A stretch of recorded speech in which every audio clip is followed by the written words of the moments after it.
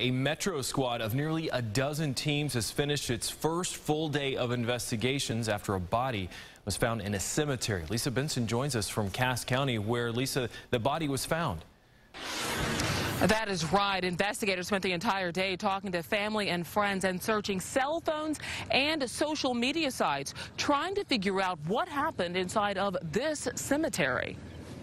It's going to become a memorial plaza, and we're going to uh, have a monument uh, made for the veterans. Larry Dobson is the board president of the Wills Cemetery. It's been in rural Cass County since 1868. I would say that most of our residents are certainly from Cass County, and many of them, of course, from the Peculiar and Raymore area.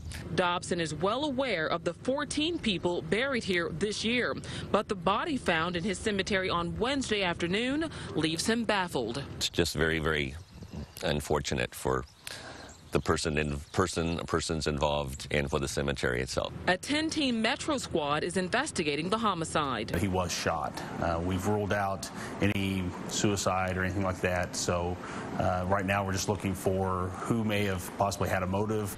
The victim has been identified as 25-year-old Forrest Fuller.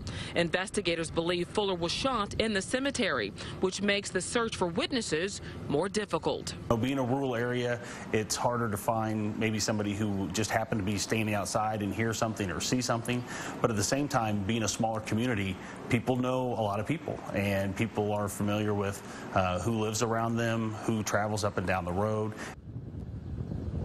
Now, Dobson and his board members are hoping for a quick arrest so family members feel comfortable as they come out this weekend to pick up their Memorial Day flowers. Reporting live in Cass County, Lisa Benson, 41 Action News.